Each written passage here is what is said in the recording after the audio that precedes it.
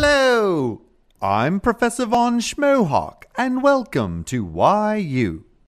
So far, we have seen how to describe a single unique solution in a system of three linear equations in three variables.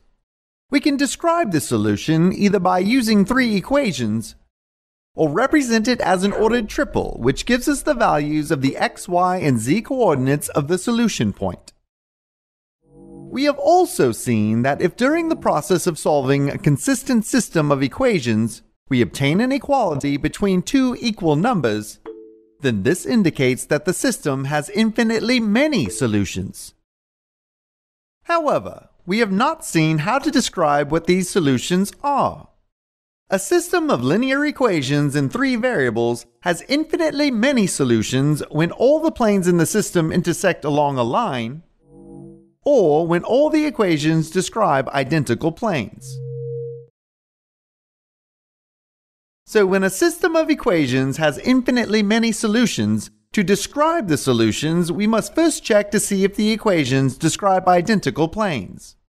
Fortunately, it is easy to spot this condition, since when the equations are written in standard form, ax plus by plus cz equals d, any equations which are multiples of each other will describe the same plane.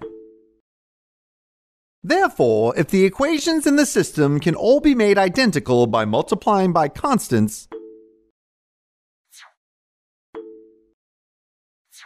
they all describe the same plane. In this case, the solution set of the system is described by any of the equations. However, when all the planes intersect along a line, then this solution set is not described by any of the equations. We need some other way to describe a solution set whose graph is a line in three-dimensional space. Since a line in three dimensions is a linear object,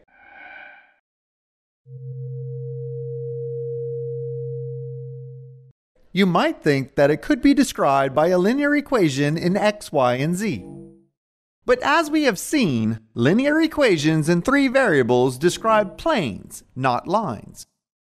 In order to mathematically describe a line in three-dimensional space, we need a way to define the values of the three coordinates at every point along the line. This can be done by creating a group of parametric equations, one equation for each of the three coordinates. Each parametric equation expresses the value of one coordinate as a function of an additional variable called a parameter. In this example, we have chosen the letter t to represent this parameter. For any given value of t, each of the three parametric equations determines a corresponding value for one of the three coordinates. For example, the values of x, y, and z could be equal to t, t plus 1, and 3t minus 3. So each value of t corresponds to an ordered triple, which describes the position of one point on the line.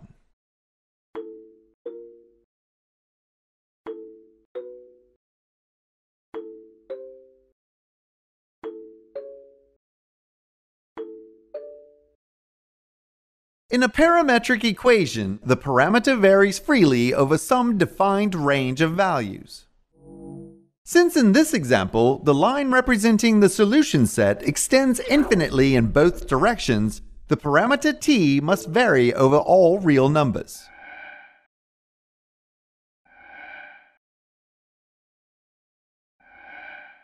If we think of t as representing time, then we can think of the line as the path of a point, whose position in space is a function of time.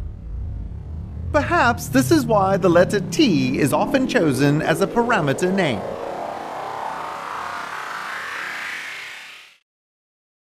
So a solution set corresponding to a line in three-dimensional space can be described using three parametric equations. Or it can be represented as an ordered triple, where the values of x, y, and z are each expressed as functions of a parameter. It is also possible to use one of the variables as the parameter, expressing the coordinate values in terms of this one variable. These are all examples of ways to write parametric representations of the solutions to a system of equations with infinitely many solutions. So when the solution set for a system of equations in three variables is a line, how do we calculate the parametric representation of that line? In the next lecture, we will demonstrate how this is done.